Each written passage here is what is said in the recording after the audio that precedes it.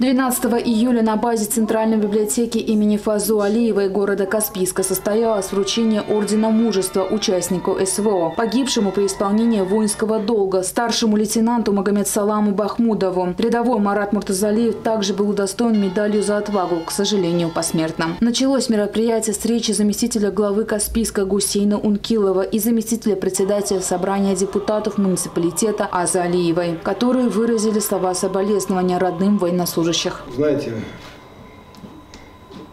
всегда бывает так тяжело говорить на таких мероприятиях, но мы помним ваших сыновей, будем помнить, потому что они, они являются героями сегодняшнего дня.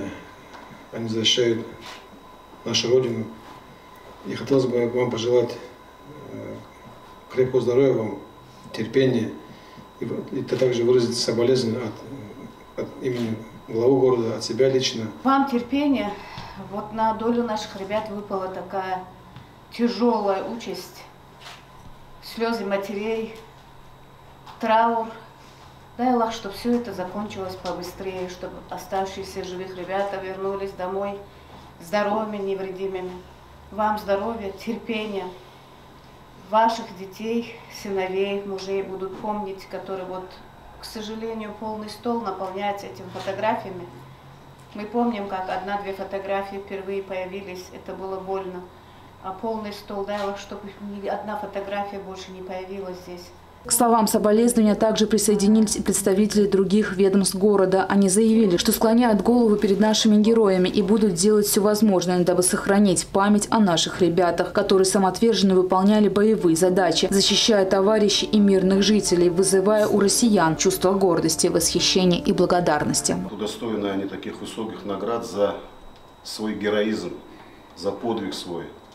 Вот эти все ребята, в том числе и ваши сыновья и дети, они выполнили эту задачу, как я всегда говорю, не прятались ни за спину друзей, ни за кого.